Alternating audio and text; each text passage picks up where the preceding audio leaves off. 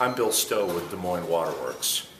We at Des Moines Waterworks understand customers may have concerns about recent news of Des Moines Waterworks exceeding the total trihalomethane, or TTH-M, drinking water standard. We want to ensure each of you that drinking water is safe for consumption and customers do not need to use alternative sources of water. However, if you have specific concerns, please contact your health care provider. TTH-M, if regularly in our water source, can be a potential long-term carcinogen for those of us who use Des Moines Waterworks.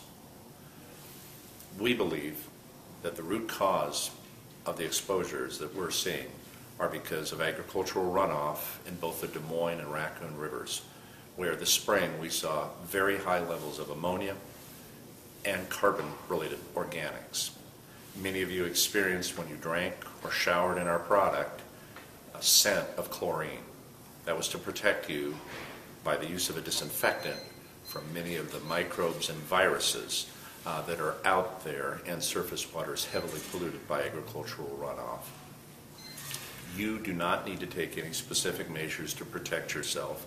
In fact, what we're describing is something that's now happened several weeks ago. We at Des Moines Waterworks are talking regularly with our regulators as well as with the scientific community to take measures so that this isn't repeated in the future. The real source of these pollutants is not a treatment process and how we deal with it. It's the river water in both the Des Moines and Raccoon rivers, where combined animal feeding operations and agricultural land runoff from the application of manures causes us great concerns. We believe that we all should be accountable. At Des Moines Waterworks, we accept accountability for violating the safe drinking water standard and are committed to do everything humanly possible to avoid that in the future. But we ask for the same accountability for those who live upstream from us and use the land that drains into the Des Moines and Raccoon River, particularly agricultural land users who need to take responsibility and to take measures to avoid agricultural runoff involving high amounts of manure and high amounts of chemical fertilizers. We very much view it an honor to serve Central Iowans in providing safe, affordable, and abundant drinking water.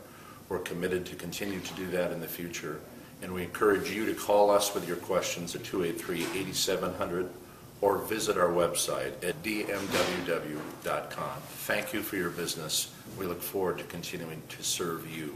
And remember that clean water is for life.